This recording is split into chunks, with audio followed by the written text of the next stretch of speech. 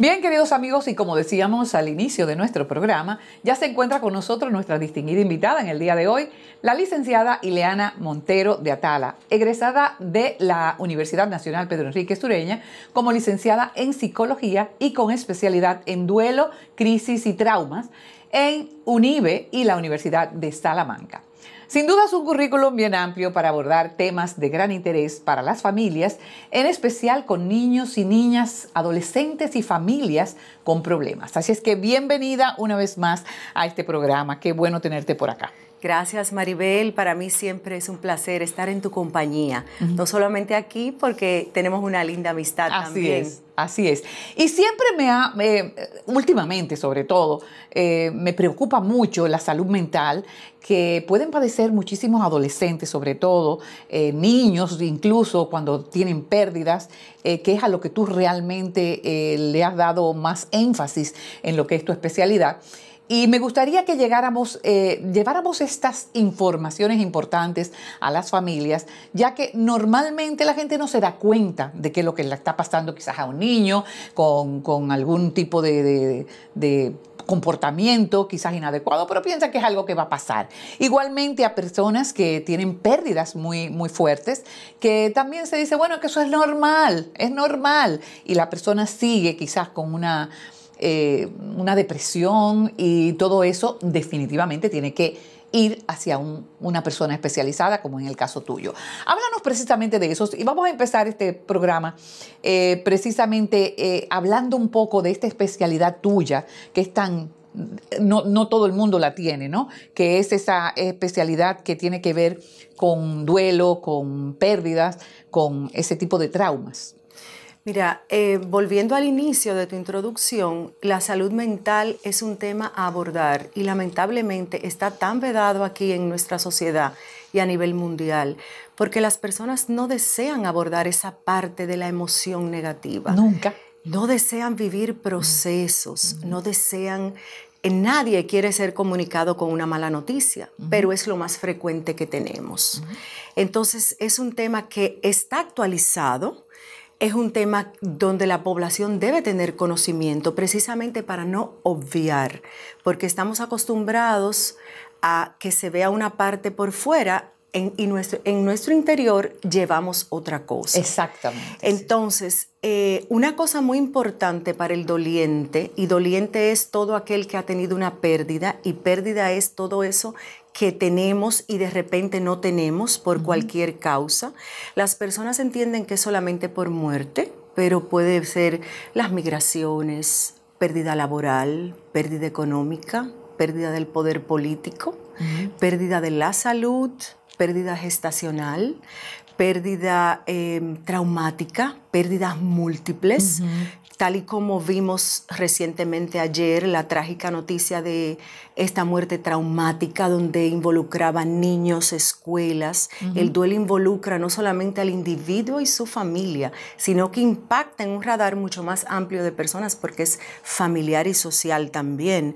Entonces, pérdida es todo aquello que tenemos y algunas veces intangibles, como la pérdida de confianza que todos la vivimos durante la pandemia, sí, sí, que fue colectivo. Está también la pérdida colectiva, el duelo colectivo, cuando perdemos a una figura pública importante, eh, que en este país hemos tenido varias pérdidas de ese tipo también. Entonces, todo eso que no identificamos, eh, no solamente el doliente, sino las personas que están a su alrededor, porque estadísticamente está más que comprobado que las personas como mejor se sienten es viviendo su duelo acompañados. Y ese es precisamente uno de los detonantes de un duelo complicado, que también hay varios tipos de duelos. Entonces, es importante puntualizar las actualizaciones que en ese sentido ha tenido el duelo. El duelo no se vive en etapas, eso es una teoría que fue muy útil en años anteriores el duelo es un largo periodo de adaptación donde el doliente tiene un papel y un rol activo, no pasivo como se veía antes, que el doliente tenía que pasar por una serie de etapas y si no se cumplían, pues el doliente se sentía que eh, estaba viviendo su pérdida de una manera inadecuada. Entonces, eh, como vive el doliente, cada doliente va a depender de muchos factores. La edad, el ciclo vital, el tipo de muerte, la vinculación que tenía con esa persona, experiencias de pérdidas anteriores, porque si cada uno se revisa, ha tenido muchísimas pérdidas. Entonces, no necesariamente las manifestaciones son solamente emocionales, que somos las que estamos acostumbrados a identificar. Hay pérdidas con mm, síntomas físicos tan importantes como, como lo que es el síndrome del corazón roto que entonces ahí entra un equipo multidisciplinario. O sea que el duelo tiene muchas aristas. Ya veo, ya veo. Y es muy importante que aclares eso, porque cuando uno lee, por ejemplo, que tú eres especialista en duelo, en crisis, en pérdidas, ¿no? La gente únicamente piensa en una persona que se muere, ¿no? Que es una persona muy cercana o que murió muy joven o ese tipo de, pérdidas que a veces es muy difícil de, superar, por así decirlo, esa tristeza. Pero estamos hablando de pérdidas en todos los sentidos. Por ejemplo, yo me imagino que una mujer que de repente el marido llegue y le diga, me voy a divorciar, tiene una pérdida. Totalmente. Muy fuerte. Y, y, es, y, afecta su personalidad. ¿Es así o no es así? ¿O eso es en personas muy débiles? No, siempre afecta. Siempre afecta porque cuando hay una separación, primero, generalmente, a veces no, a veces piden el divorcio, hay una pérdida de todo lo que representó esa persona en la vida de esa familia. Exacto. Pérdida del tiempo, pérdida de rituales, de levantarse juntos. Y adherido a eso, pérdida de, del rol del padre y del esposo. Ya tú no tienes ese acompañamiento. Exactamente. Pero también vienen pérdidas secundarias, porque el rol que desempeñaba el padre muchas veces la madre lo tiene que asumir. Entonces representa, viene quizás también una pérdida de estatus económico o una pérdida económica, pérdida, pérdida de la libertad o pérdida de tu estilo de vida que te tienes que reinventar y comenzar a trabajar. Y también esas son las pérdidas secundarias. En ese caso, por ejemplo, los hijos quedan afectados por dos pérdidas. Por como tú dices, ¿no? La pérdida quizás del marido que se fue y la pérdida de la, de la mamá que había estado con ellos más tiempo y ahora tiene que tener menos tiempo. Sí, y la pérdida también tan sutil en niños como de que mi mamá ya no va a ir a esa reunión familiar de la familia de mi papá. Es correcto, exactamente. Entonces, si esa madre tuvo una pérdida anterior, como fue la pérdida de la madre, por ponerte un ejemplo, y tiene una relación muy cercana con esa familia política, eso va a representar una pérdida para ella también. Entonces, es vivir cada pérdida no solamente con la parte emocional, sino que el duelo también tiene dimensiones, dimensiones físicas, dimensión espiritual, que muchas personas eh, no conciben cómo se, se, cuestionan ante la idea que ellos, ante la forma que ellos tengan de su espiritualidad, de ¿por qué me pasa esto a mí? Entonces hay dos cosas que pueden pasar. O uno se aferra más a la espiritualidad, o uno la pone en duda, o uno, o eso ya definitivamente no ocupa el lugar que ocupó en su vida como antes. Entonces, la, importante eh, pregunta que te quiero hacer para nuestro público televidente es en qué momento de una pérdida que se da continuamente en todas las familias, en todas las personas, en, como tú decías, en una amplia eh, cantidad de cosas que pueden trastornar una persona, ¿no? Tener una pérdida realmente importante. Cuando tú te das cuenta que tú necesitas, por ejemplo, una ayuda, en este caso psicológica. Bueno, cuando hay un cambio muy obvio en ti, generalmente se nos hace difícil aceptar. Hay todo tipo de personas. Hay personas que dicen, yo necesito eh, una, una orientación acerca de lo que yo estoy sintiendo y lo que voy a hacer, porque el futuro está lleno de incertidumbre ante una pérdida y eso es normal también. O cambios de actitudes muy radicales, pero igual hay personas que no lo necesitan. Eso te iba a decir. Personas hay personas más fuertes, más... Que tienen factores psicológicos protectores o que tienen eh, capacidad de resiliencia, que simplemente ven la vida de otra manera, que sí viven su proceso y luego se dan cuenta, ah, esto fue lo que me pasó a mí, pero yo lo pude sobrellevar. O personas que han tenido pérdidas anteriores e integran todo lo que le pasó a esta nueva pérdida. Entonces, realmente eso es algo muy personal. Hay personas que tienen una entrevista única.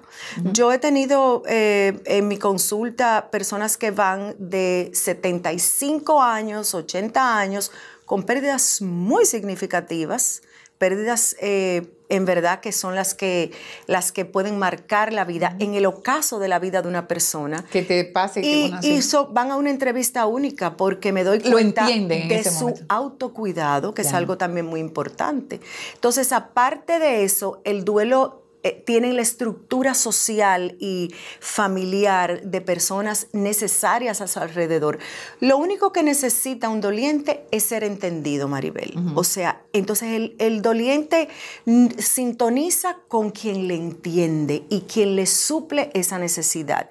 El duelo es cambiante. La necesidad de hoy no es la necesidad que voy a tener dentro de cinco años. Entonces, muchas veces impacta a la compañía y los dolientes, a pesar de tener una amistad cercana, no tienen esa conexión con esa persona simplemente por un comentario, porque dijo algo y los alejan de su vida.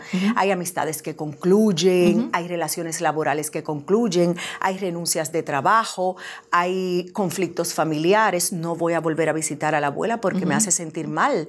Ah, eh, yo perdí a mi esposo y la abuela simplemente no me hace. Y es cómo está viviendo la abuela su duelo es diferente a cómo lo vive esa madre. Entonces, simplemente es cambiante, pero lo importante es que toma un rol activo el doliente, toma decisiones, eh, tiene inquietudes, eh, pone límites. Sí, eh, y y así, o sea, no concluye. Tú puedes tener integrada una pérdida y tener una tristeza, de haber tenido una pérdida súper significativa. Y cinco años, siete años después, viene una gente a llorar donde ti. Y eso para ti no es significativo porque ya tú, tú te has adaptado. Ya, no, no se pasa. Uno se adapta, integra ese ser, a, ese ser de la pérdida y lo tiene en otra dimensión. Existe otra relación con esa persona amada. Sí, eh, hay, un, hay un caso que, puede eh, ser, eh, qué sé yo, lo más natural posible, y es que este tipo de pérdidas, vamos a hablar así de, que perdió al esposo o al revés, porque puede ser también el, hombre que pierda a la esposa, ¿no? la depresión. Vamos a, catalogar la depresión y la necesidad cuando hay una depresión, que es una pérdida casi también de autoestima, eh, la mujer siente que no vale para nada, entonces va cayendo en esa tristeza profunda. Eh, háblanos de cómo se puede catalogar la depresión y la necesidad de acudir a un especialista. Mira, hay una diferencia muy sutil entre depresión y extrema tristeza. En el duelo es normal. La tristeza. La tristeza, de quedarte acostado en una cama. La diferencia está en que esa tristeza es por causa de esa pérdida. Ya la depresión, hay otros factores que hay que tomar en cuenta. No necesitas una pérdida para estar deprimido, para no tener ilusión de vida. entonces ya eso es diferente. Eh, ¿Qué pasa? Que muchas, muchos familiares vienen preocupados en ese sentido. Está deprimido y el término depresión se usa muy alegremente entonces, es un término importante que conlleva alerta en la familia. Esa es una de la, de la, parte, que, de la, de la parte que evaluamos ¿Es depresión o es tristeza profunda? Porque una pérdida te puede marcar con una tristeza profunda y el entorno no estar acostumbrado a que estés triste. Por eso se marca tanto.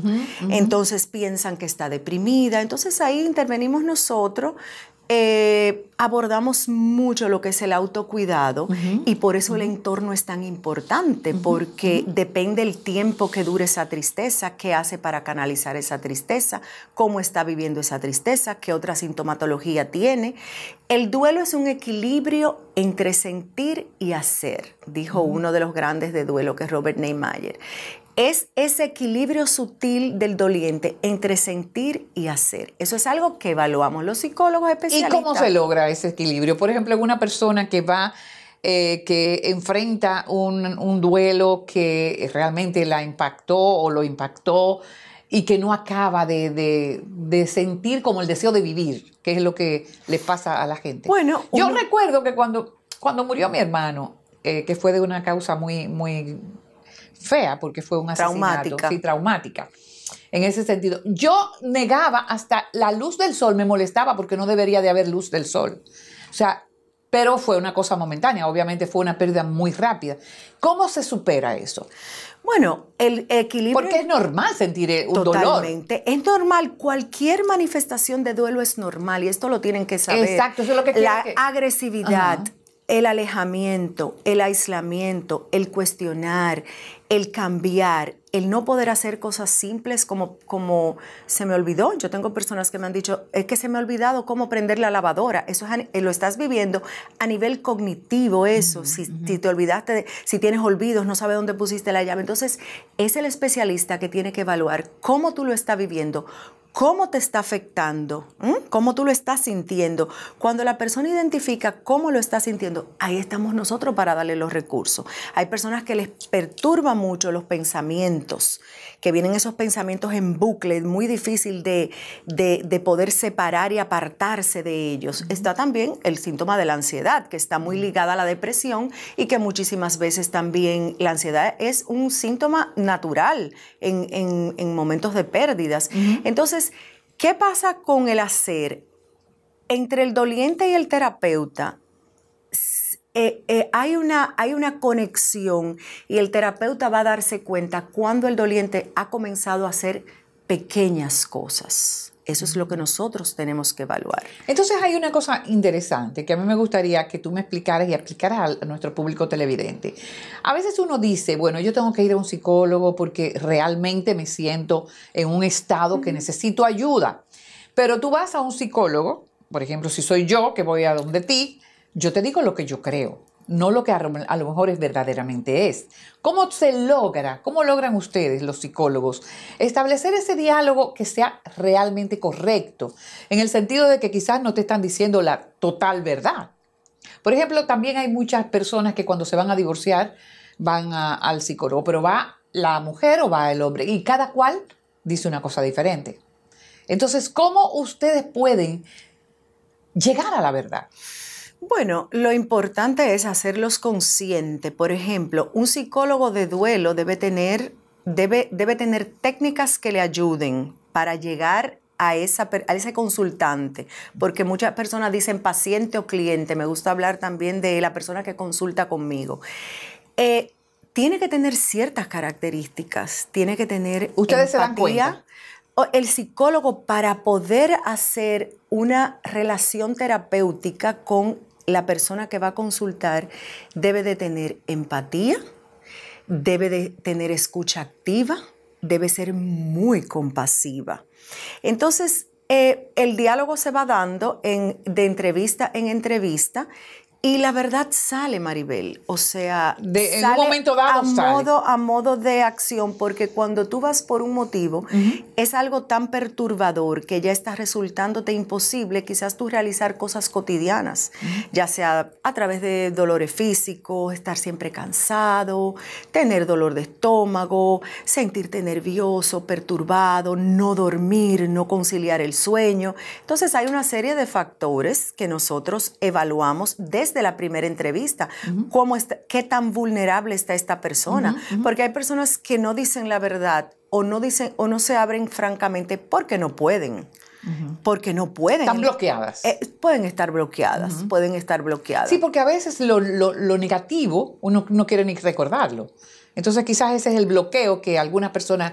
Eh, pues bueno, ese es un bloqueo distinto. El, dolor, el, el bloqueo del cerebro es que el, el, impacto fue tan fuerte que el doliente no, no puede recordar y eso se va construyendo en terapia cuando trabajamos en las diferentes sesiones.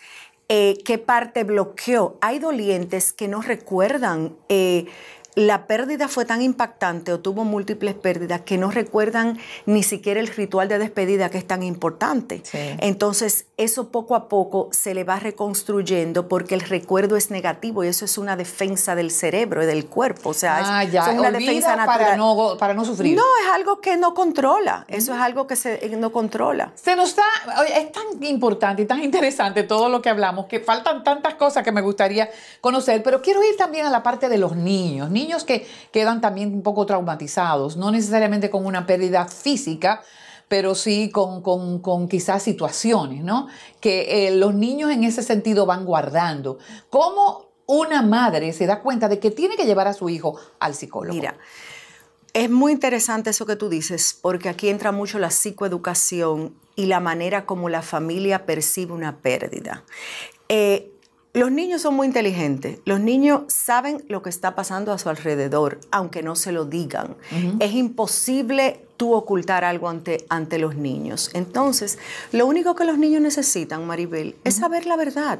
Decirle la verdad. Saber la verdad de lo que ocurrió de acuerdo a su edad cronológica, de acuerdo a la situación que fue, porque tú no le vas a narrar a un niño eh, cómo murió el abuelo eh, y todo lo que conllevó a eso y todo lo que sufrió el abuelo. Entonces es muy importante tomar en cuenta la edad cronológica.